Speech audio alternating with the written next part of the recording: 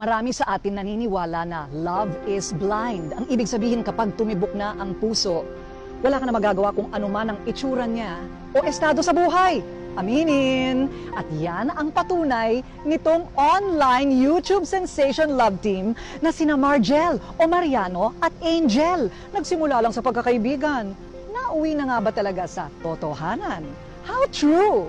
Ngayon na kaya magkakaaminan dahil ang tanong ng kanilang milyon-milyong mga followers online, Margel, for real o for real? Moreno. Simpatiko.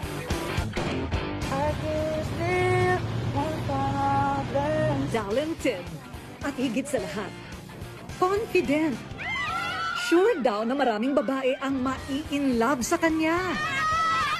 Sa kanyang pangmalakasang pormahan, alam niyo bang maraming girls na ang kanyang napa-oo?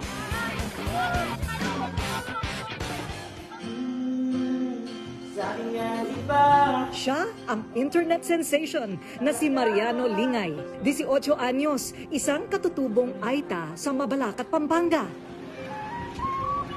Pangatlo sa anim na magkakapatid, walong taong gulang pa lang siya. Tumutulong na siya sa kanyang tatay sa pagtitinda ng flute at bird whistle. Nililibot nilang mag-ama ang iba't ibang bayan sa Pampanga. Kumita lang sila ng pera. Pagtitinda naman ng gulay ang pinagkakaabalahan ng kanyang nanay. Hilig din ni Mariano ang pagkanta. Kaya naman, kinakanta niya ang lahat ng kanyang madadaanan para lang siya ay makabenta.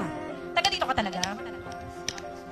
Saan? Marcos Villa. Nagbago ang kapalaran ni Mariano nang sumali siya sa isang street karaoke challenge. Wow! Tinodo niya talaga't ginalingan ng kanyang mala The Voice na performance. Pero sa kasamaang palad, hindi siya nanalo. Consolation prize lang ang nakuha ni Mariano. Lahat naman ng bagay ay merong katapusan. Pero ang hindi niya alam, dito pa lang magsisimula ang kanyang break. Matagal ka na ba kumakanta? Isang linggo matapos siyang sumali sa Street Karaoke Challenge, ay tinawagan na siya ng isang talent agency para maging on-cam star sa kanilang vlog.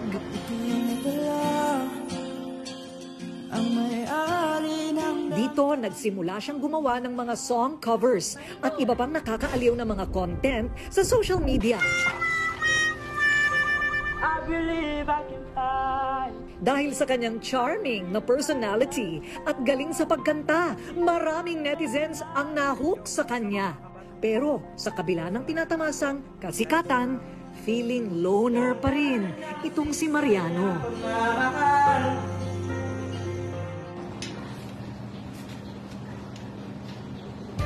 Hanggang sa nakilala niya ang babaeng nagpatibok ng kanyang pihikang puso, si Angel. Mariel Chanel Uy sa tunay na pangalan, 19 anyos, lumaki sa Porac, Pampanga. Hiwalay na ang kanyang mga magulang. Hi guys! Kaya gusto niyang tulungan ang kanyang pamilya. Tulad ni Mariano, paggawa din ng mga vlog ang interes ni Angel. may bago na naman po tayong kasama. Nung una silang nagkita, nahihiya pa si Mariano kay Angel. Pero dahil na love at first sight na agad siya sa dalaga, gumawa siya ng paraan para mapalapit sa kanya. Naku, mukhang lalong na-inlove itong si Mariano. Kaya naman, nagdesisyon siyang pormahan na si Angel. Pero may problema. Gusto ko siya bigawan. Pero baka hindi yan bagay. Ang pangit ko. Dali lumapit ka lang! Kahit mukhang dehado, tinuloy pa rin niya ang kanyang pagdiskarte. Wala siyang pakialam. Umakyat ng ligaw si Mariano sa pamilya ni Angel. Si Lolo. Asa si Lola? Lara, halika dito. Nagpaalam siya sa lolo at lola upang manligaw. At para makapogi points, tinulungan niyang magtanim ng pechay ang lolo at lola ng dalaga.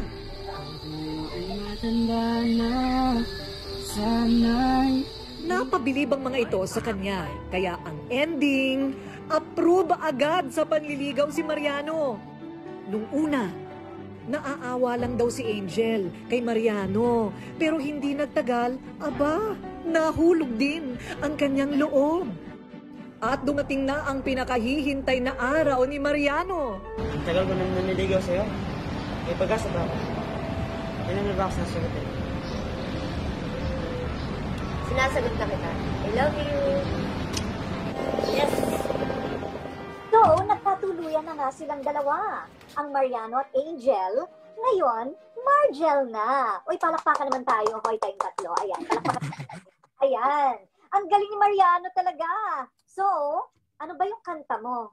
Napalagay mo, nagpa-in love kay Angel sa'yo. Huwag ka sasagot, Angel, ha? Bigyan mo na sana ako Di naman ako tulad ng nakakala mo Di naman ako gwapo, wala ring oto At ang kayang ibigay lang ay ang puso ko Sabi nila, hindi daw kayo bagay. Opo. Sa- Marami oh, Marami po nagsasabi na hindi po ang bagay na minsan po naan din po ako yung Sasaktan. nasasaktan din po ako sa mga sinasabi po ng ibang netizen po Ano ba ang pinakamasakit na sinabi nila tungkol sa'yo? yung ano po may itim daw po ako tas yung yung ngipin ko daw po ano pangit daw po pero sabi ko sa sarili ko hayaan ko na lang po sila sigad na lang po yung bahala Pero, Angel, anong tingin mo kay, anong tingin mo sa kanya, kay Mariano? Hindi naman po kasi ako bumase sa physical na anyo eh. Alam mo, meron akong, meron akong ano sa'yo, meron akong ah, secret. Magpa-plug ako ah. Sige po. Yan o, kaluhan kita nito. Pag gumamit ka nitong K-Magic Skin Cream, yan, para sa katawan. Ito naman, K-Magic Skin Cream para sa face. Hmm. 20% off ito ngayon sa Watsons, okay?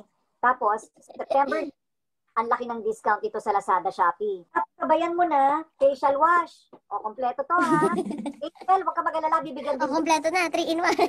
Lahat Three in na. one. O, ito naman, 70% off ngayon ha sa Hmm. and Shopee. 70%. Pero alam mo, wala namang kasama sa maitim sa totoo lang. Ako nga ako eh. Hindi ko nga malaman kung paano ako magpapaitim sa ilalim ng araw. Pagka ako namumutla, nagpapanik na ako niyan. Ako gusto kong maitim. mahal na mahal kita.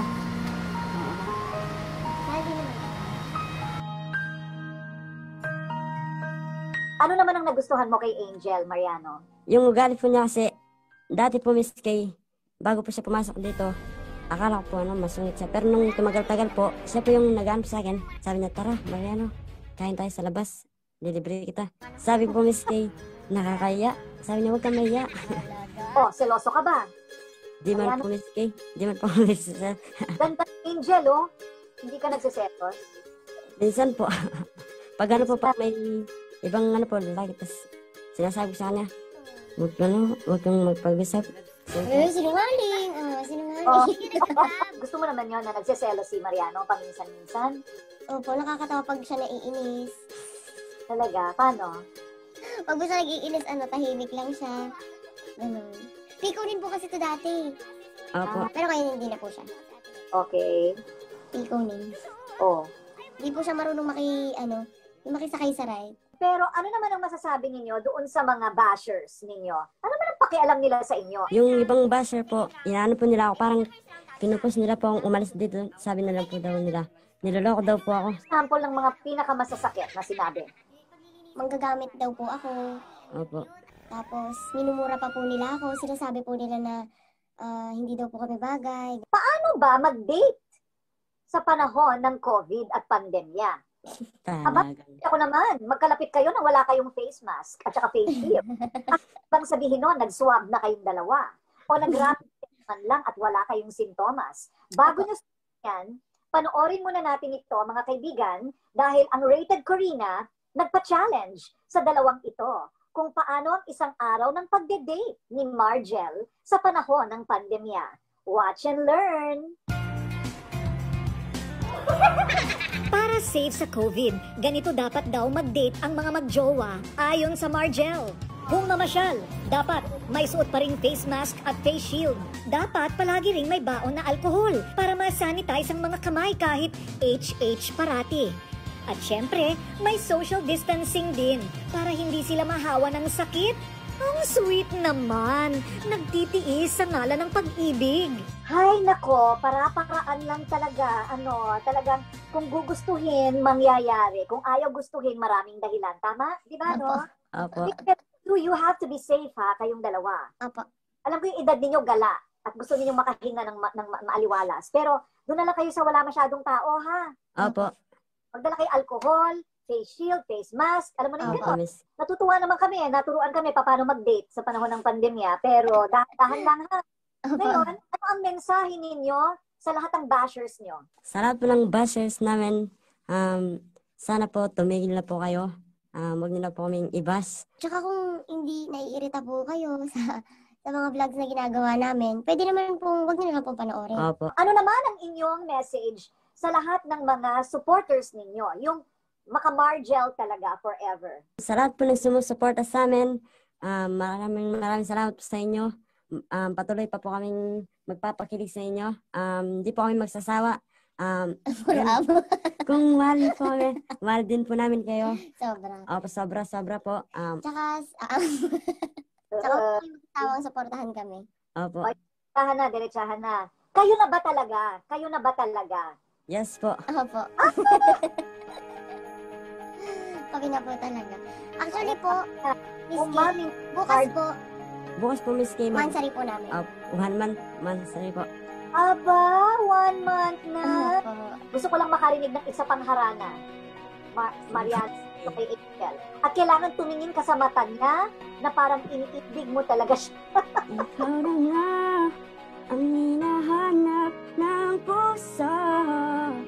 Talaga namang walang pinipiling itsura o estado sa buhay ang pag-ibig kapag ang ating puso'y tumibok.